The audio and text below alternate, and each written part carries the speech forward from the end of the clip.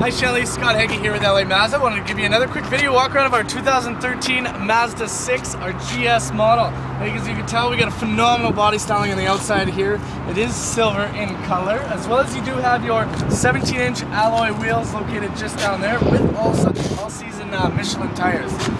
Moving into the inside, comes standard with your power locks, power windows, and your power mirrors, just located right there. You've got a six-way power adjustable front driver's seat. As well, looking just onto uh, the steering wheel there, you've got your Bluetooth cruise control and your audio settings there as well.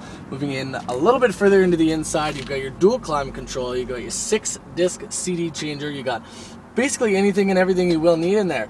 As well as you do have an auxiliary and two 12 volt power outlets. Now, to sweeten the deal even a little bit more, just located up here, you've got a nice moonroof. So uh, when it's sunny out, you want to let the uh, hair blow in the wind, you're more than welcome to.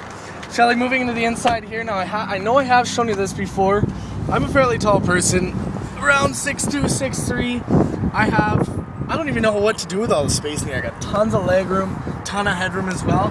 Typically with the sunroofs, a lot of the times with vehicles, it will make it a little bit harder for the roof and, and us tall people, but actually the way that they've curved it out makes it extremely easy. Now, with the trunk, Largest trunk in its segment. Massive. Really, really big in here. Fit six bodies if you want, a couple kids, Shelly, whatever you're into, that's okay.